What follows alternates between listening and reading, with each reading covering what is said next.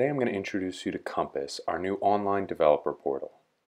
After logging in with your CloudMine credentials, you'll be taken to the Compass landing page, which contains all of your CloudMine applications. For security purposes, each app is totally self-contained, meaning it has its own data, security, and logic layer. By clicking on the green Create New Application button, you can immediately get started with a new CloudMine application. Within seconds, you'll have a brand new application ready for use, equipped with the full security, scalability, and interoperability features of the CloudMine platform. To get started with an existing application, simply locate it within the All Apps page and click on the icon to begin. This will navigate you to the Application Overview page, which contains some basic information about your app.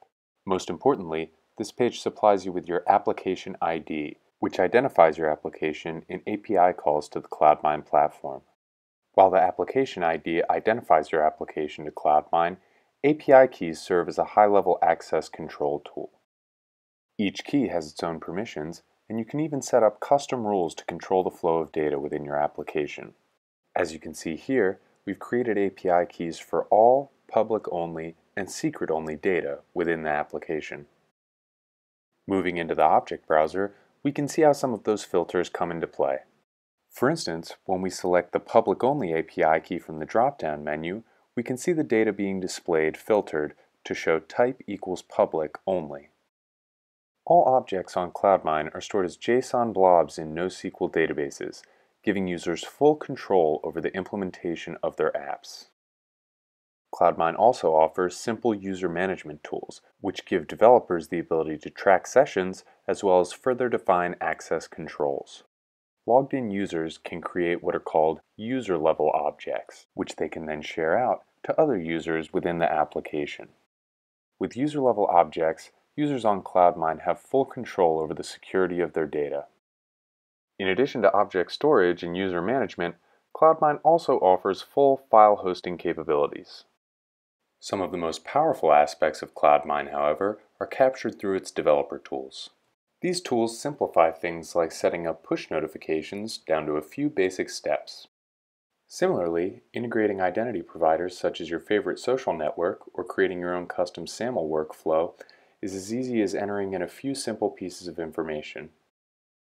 CloudMine also enables applications to be shared within organizations, which can be set up through the Collaboration tab in Compass. With the release of the new dashboard, users also have access to a few powerful new tools, such as the Query Runner, which allows you to test and experiment with specific endpoints on the CloudMine system to make sure everything's running as expected. Here, we've done a simple GET call on all data within the application. As you can see, there are a number of different ways to customize the query to mimic the environment that you're testing. To give developers a full picture of what's going on within their application, we've also exposed in-depth log files.